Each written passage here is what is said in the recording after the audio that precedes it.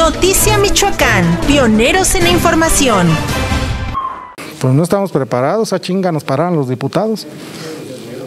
La verdad, ¿eh? La verdad. Y no a mí, digo a mí de una manera como presidente municipal, pero pues los ciudadanos, con tanto recorte a presupuesto, a programas, qué mal, la verdad, qué mal, qué mal. Y qué mal que se quieran escudar en algo que no, porque pues el escudarse de decir, no, pues es que los programas que da el gobierno federal, y que, pues sí los da, y eso los daban desde hace mucho tiempo, otros programas con otros nombres, pero se daban. Y esa es también nuestra obligación, pero también nuestra obligación está en dar infraestructura y en dar otras cosas a los municipios y a la gente. Entonces, es una friega, la verdad que qué mal, qué mal.